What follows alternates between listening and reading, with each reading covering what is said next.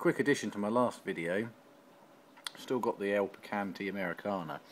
I just realised something. I'm, I'm, actually sort of sipping on a can of cider there as well while I was smoking this, and uh, I think I've just learnt a very valuable pipe lesson.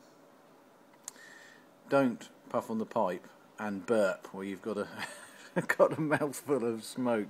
That just damn near killed me.